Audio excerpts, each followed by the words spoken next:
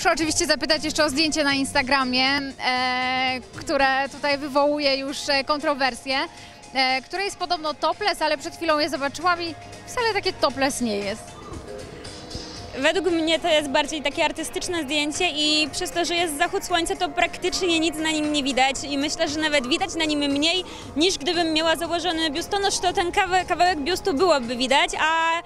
ja nie mam biustonosza, ale całkowicie zakrywam i no i też jest ten zachód słońca i kolory są ciemne, więc nic nie widać. Bardziej e, jak robiłam to zdjęcie i wrzucałam, to dla mnie bardziej to takie właśnie coś artystycznego. A czytasz te komentarze, gdzie tam piszą, Ola, dlaczego takie, takie zdjęcie zrobiłaś, po co ci to? E, tak, czytałam komentarze, e, właśnie po co ci to, nawet jakieś teksty myślałam, że jesteś inną osobą, że masz ambicje i tak dalej, e, ale ja uważam, że jeżeli jest się kobietą, która zna swoją wartość i realizuje się na różnych dziedzinach życia, bo ja czuję się spełniona i na polu zawodowym, e, i na polu rodzinnym, i też jeżeli chodzi o sprawy sercowe, i nie mam kompleksów, jestem młoda, nie widzę e, przeszkód, żeby